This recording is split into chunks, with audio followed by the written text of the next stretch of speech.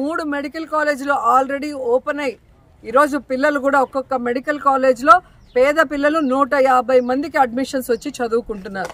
ఈ మెడికల్ కాలేజ్తో పాటు మరి ఏ విధంగా సూపర్ స్పెషాలిటీ హాస్పిటల్ కూడా అనుసంధానమై వస్తాయో ఆ చుట్టుపక్కల ఉన్న ప్రజలందరికీ కూడా ఎక్కువ దూరం పోకుండా చక్కటి ఆరోగ్యాన్ని అందించుకో అందించే విధంగా ఈ కార్యక్రమాన్ని చేపట్టారు. ఎందుకంటే స్వాతంత్రం వచ్చినప్పటి నుంచి ఇప్పటి వరకు పదకొండు మెడికల్ కాలేజీలు ఉంటే ఈ నాలుగేళ్ళలోనే పదిహేడు మెడికల్ కాలేజీలు కడుతున్నాడు జగన్మోహన్ రెడ్డి గారు అంటే ఈ రాష్ట్రంలో ప్రజల ఆరోగ్యం గురించి జగనన్న ఎంత పెద్ద మనసుతో ఆలోచించారో మనం అందరం కూడా గమనించాలి.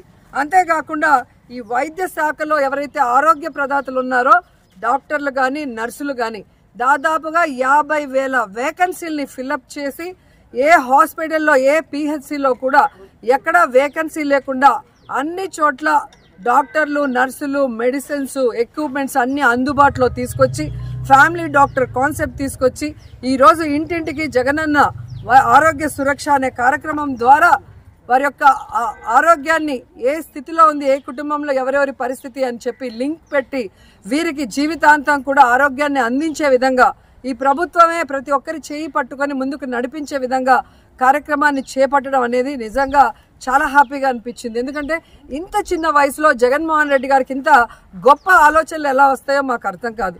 ఎందుకంటే చంద్రబాబు నాయుడు లాంటి వాళ్ళు forty years industry forty five years industry అని ఊదర కొట్టేసుకోవటం మాకన్నా తోపు లేరని చెప్పి పచ్చ ఛానల్లో పబ్లిసిటీ చేసుకోవటమే కానీ ఏ రోజైనా ఈ రాష్ట్రంలో ఉన్న పేద ప్రజల కోసం వాళ్ళ ఆరోగ్యం కోసం వారి పిల్లల విద్య కోసం వారి సంక్షేమం కోసం ఆలోచించారని నేను అడుగుతున్నా.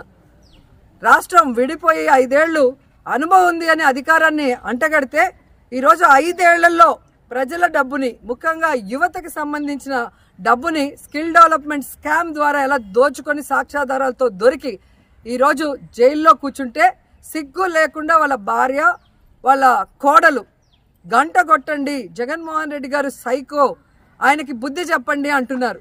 బ్రహ్మిణి గారు మీరు తెలియక మాట్లాడుతున్నారా?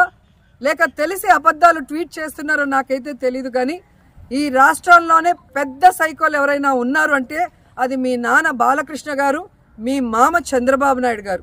మీ తాతని అంటే మీ నాన్నకి మీ మామకి అడ్రస్ ఇచ్చి సమాజంలో ఒక గౌరవాన్ని కల్పించి రాజకీయ భవిష్యత్తు ఇచ్చిన ఎన్టీఆర్ గారిని చెప్పులేసి వెన్నుపోటు పొడిచి ఆయన పార్టీని లాక్కొని ఆయన చావుకు కారణమైన పెద్ద సైకోలు ఎవరైనా ఉన్నారు అంటే అది చంద్రబాబు నాయుడు బాలకృష్ణ గారు. రెడ్డి గారిని ఇంకొకసారి గనక మాట్లాడితే మర్యాద దక్కదు. ఎన్ని రోజులు నువ్వు రాజకీయం గురించి మాట్లాడలేదు కాబట్టి మేము మాట్లాడలేదు కానీ ఈ రోజు మీ ఇంట్లో వాళ్ళు మొత్తం నీతో సహా ఈ రాష్ట్ర ప్రజల ఈ రాష్ట్ర యువత డబ్బులు దోచుకొని మీరు ఎంజాయ్ చేస్తూ తప్పు చేసి సాక్ష్యాలతో దొరికి జైల్లోకి వెళ్ళాక కూడా ఇంకా అందరినీ కూడా మభ్య పెట్టాలని ఏ విధంగా దిగజారుడు మీటింగ్స్ పెట్టి ఏ విధంగా మీరు ట్వీట్స్ పెట్టి ఎలాంటి మాటలు మాట్లాడుతున్నారో ఈ రాష్ట్ర ప్రజలందరూ కూడా గమనించి హైదరాబాద్కు పరిమితమైన వీళ్ళని మళ్ళీ ఆంధ్రప్రదేశ్లోకి రానికుండా తరిమి కొట్టాలని కూడా ఈ సందర్భంగా తెలియజేసుకుంటున్నాం.